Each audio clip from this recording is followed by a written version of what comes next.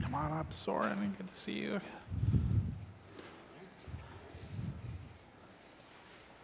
All right. Soren, it's you and me, buddy, and your brother. Today, we've got puppets. Very exciting, very fun. So, we're going to see what the puppets have to say to us today. Why don't you guys come on down here?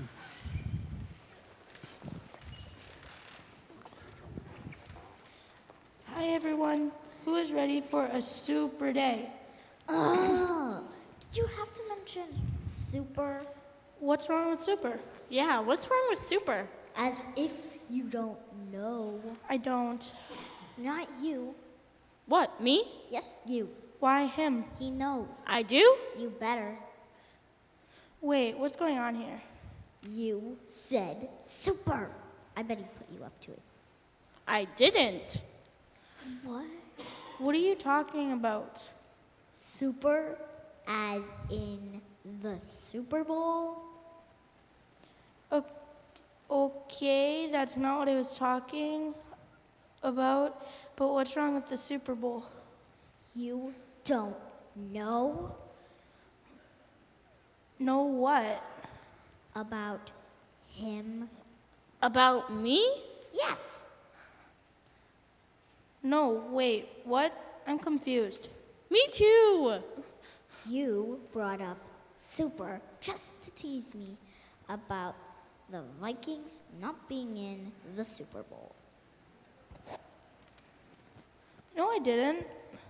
And you probably told her to, to didn't you? What? Why would I do that? To make me feel bad. What? How? Well, you are obviously an Eagles fan. I am? He is? You are. How can you tell? Just, just, just look at him. I still can't tell. Me neither. It's so obvious. Look at him. He's, he's, he's green. So? So that means he is an Eagles fan and he's trying to make me feel bad. What? Where'd you get that idea? You know it's true. Admit it. It's not. I mean, I'm not. I mean, I don't even know what to say. I do. Just because he is green doesn't mean he is an Eagles fan. Yeah. It doesn't. No, you are just green, that's all. Nothing less, nothing more. Just like I am blue and you are purple, we are what we are, all just different, and that's okay. I mean, last time we did this, people thought he was Yoda because he was green. Well, he did have the robe and the stick. Hmm, Jedi Master, you say? Nope, not going there again. I was just using that and as, as an example. So, you aren't an Eagles fan? Nope. And you are not Yoda. Hmm. Nope. Then what are you? Just your friend, I guess. Perfect. Now what do we do? What was our skit about anyway today? Healing, how Jesus can heal us in many ways. Well, I suppose I could come out with like a broken arm or something. Or I have my head all wrapped up in a bandage. Ooh, ooh, I want to have an eye patch. That would be so cool. And I could heal you. Using an old Jedi mind. Nope, nope, no. No Star Wars, remember. Besides, we have already had some healing today. We have? Yes, healing doesn't have to be a broken arm or having your head cracked open or even a poke in the eye with a sharp stick. It doesn't? Oh. No, today we had healing in your heart. You were ju- you were upset and mad today. And you were blaming it on him. Uh, uh, I was. Sorry about that. Can, can you forgive me? Of course I can. That is one of many ways Jesus can heal us. There are so many ways we can hurt or be hurt, and Jesus can heal every one of them. The, end.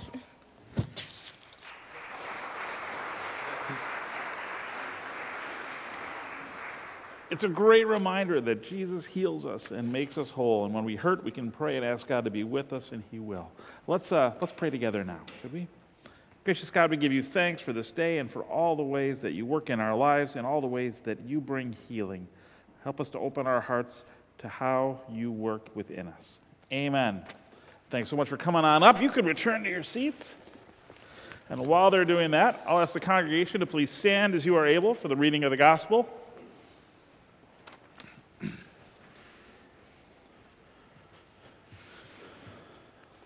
The Holy Gospel can be found on page 878 of your Pew Bibles if you would like to read along. The Gospel according to St. John, the 15th chapter, verses 1 through 12. I am the true vine, and my Father is the vine grower. He removes every branch in me that bears no fruit. Every branch that bears fruit, he prunes to make it bear more fruit. You have already been cleansed by the word that I have spoken to you. Abide in me as I abide in you. Just as the branch cannot bear fruit by itself unless it abides in the vine, neither can you unless you abide in me. I am the vine, you are the branches. Those who abide in me and I in them bear much fruit, but apart from me, you can do nothing. Whoever does not abide in me is thrown away like a branch and withers. Such branches are gathered, thrown into the fire, and burned. If you abide in me and my words abide in you, ask for whatever you wish, and it will be done for you. My Father is glorified by this, that you bear much fruit and become my disciples. As the Father has loved me, so I have loved you. Abide in my love. If you keep my commandments, you will abide in my love, just as I have kept my Father's commandments and abide in his love. I have said these things to you so that you, in you my joy may be complete. This is my commandment, that you love one another as I have loved you. This is the gospel of the Lord. Thanks be to God. Please be seated.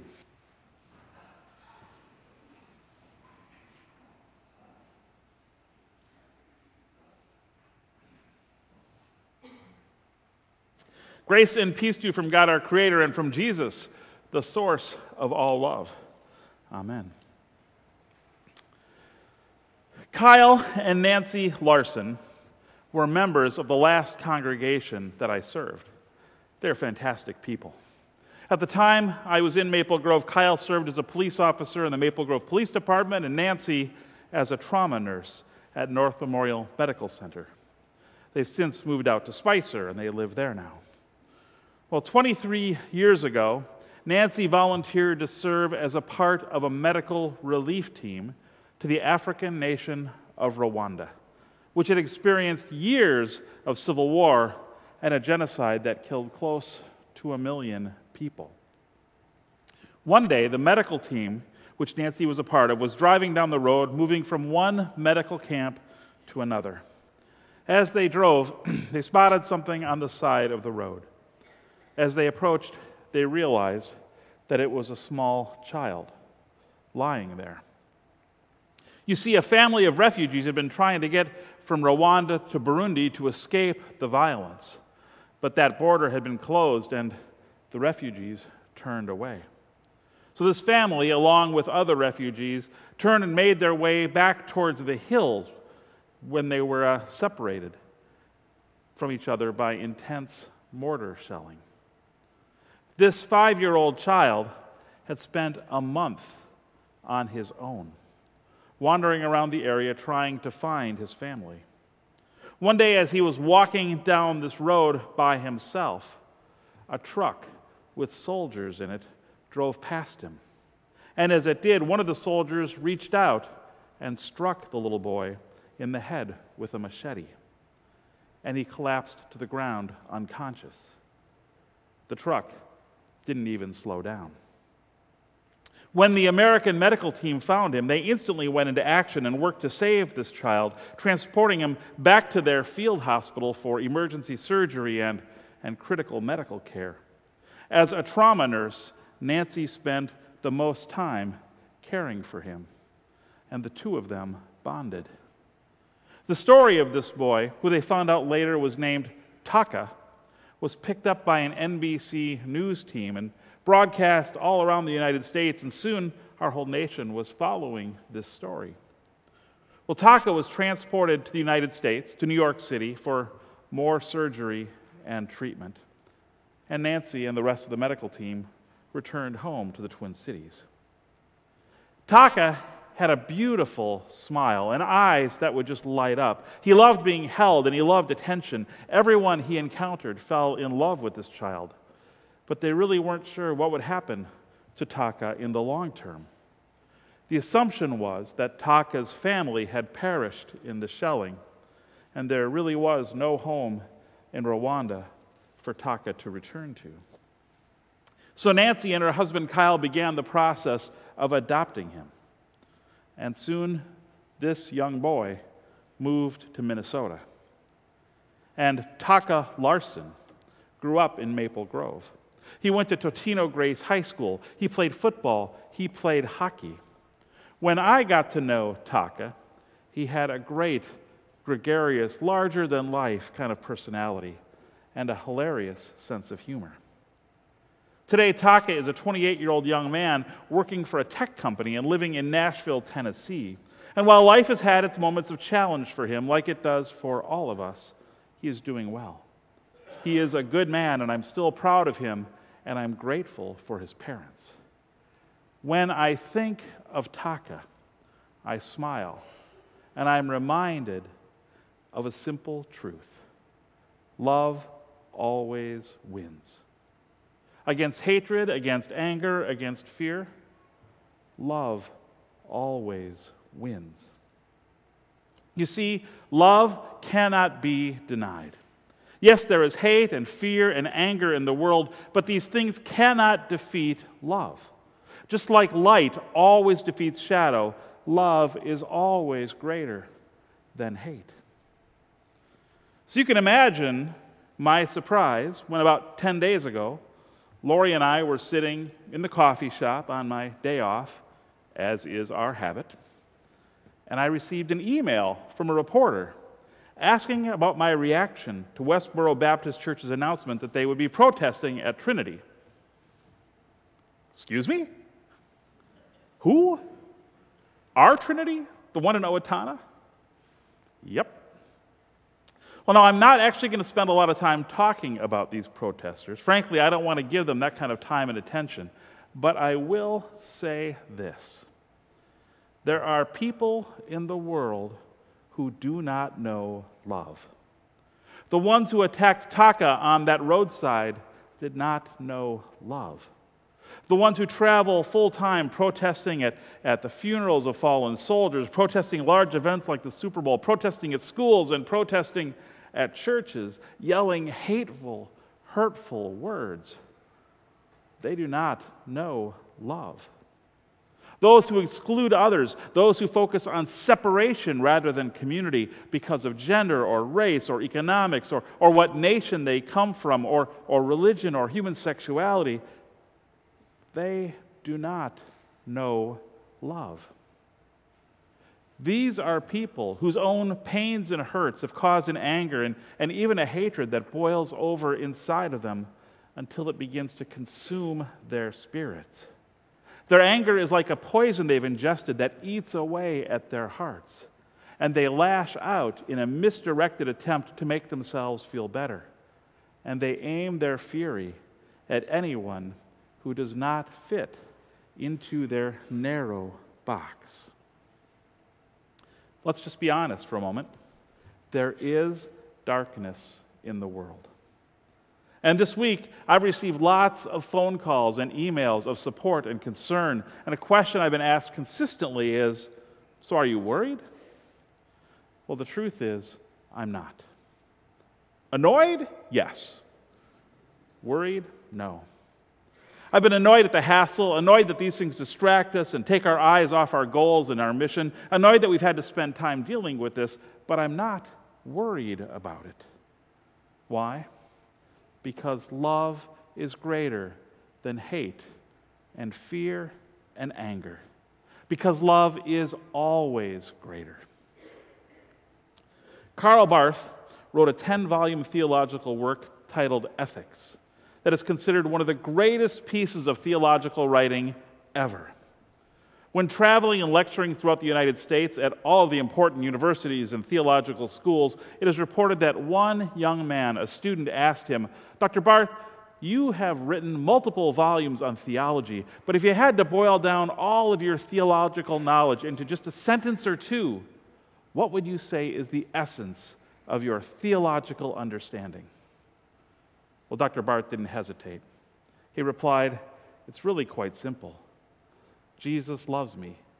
This I know, for the Bible tells me so. Yes, it is simple. Jesus loves me. Jesus loves you. It is not a conditional statement. It doesn't say Jesus loves you unless. It is not dependent on economic status or skin color or sexuality or anything. It is just a simple, beautiful statement, a truth. Jesus loves me. This I know, for the Bible tells me so. Both of our scripture texts this morning remind us that love is a gift and that this gift has a source. First John tells us that for love is of God, and everyone that knows love knows God And John's gospel reminds us that there is a vine that is the source of all things good, and that we are branches attached to that vine. You separate us from the vine, and we become, well, merely compost. But connected to the source of love, we live, thrive, bear fruit, and become disciples. We bear fruit. Remember that fruit is a visible sign. You walk past a plant and you can see fruit, it's a visible sign of the health of the plant. So, my question for us today is what can people see within us that shows Jesus' love? What is the evidence? Because those people out there who stand on street corners and yell hateful things, well, at least there's no doubt what they believe. Just read their signs. No, wait. On second thought, don't read their signs. Really, trust me. But what do we believe? How do we show it? What are our signs? In baptism, we are all given a sign, the sign of a cross marked on our foreheads with the words of promise. You've been sealed by the Holy Spirit and marked with the cross of Christ forever. And with that, we know who we are. But the way we love, the way we care, the way we welcome, that is our visible sign of what God does within us.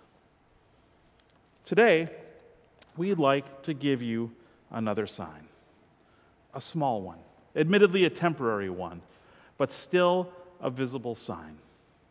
I'm going to ask the ushers to come forward at this point, and they are going to distribute these small buttons. The button has the word love on it. And in the center of the O of the word love is a small cross surrounded by the Luther rose. And next to the word love is the mathematical sign greater than, as in love is greater. Because love is greater. Love is greater than hate. Love is greater than anger. Love is greater than fear. Love is greater than prejudice. Love is greater than soldiers and machetes. Love is greater than racism. Love is greater than greed. Love is greater than homophobia. Love is greater than anything that separates us from each other. Love is always greater, and love comes from God. Wear this sign.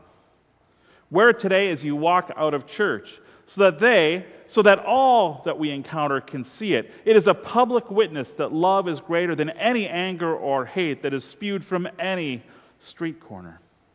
Wear this sign this week.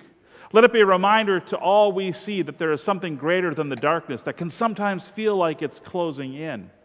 And when you're done wearing it, don't let it drop into that junk drawer that we all have, which is where, at least in our house, little objects like this go to die. No, set it somewhere where it will be visible and where occasionally you'll notice it. Put it on a bulletin board or put it on a shelf. Let it remind you always that love comes from God and that this love is greater than hatred, anger, divisiveness, and even death. Let it remind us that while love is always greater, God's love is the greatest of all. That Jesus went to the cross because of that love, and he did it for you. An author, Pastor Michael Yaconelli, once wrote that the grace of God is dangerous. It's lavish, excessive, outrageous, and scandalous. God's grace is ridiculously inclusive. Apparently, God doesn't care who he loves. He's not very careful about the people he calls his friends or the people he calls his church. My friends, let's love with that kind of love. Let's love boldly, on purpose, out loud. It is our public witness, it is the public sharing of our love that will remind everyone we encounter that God is the source of love and that love is always greater. Thanks be to God. Amen.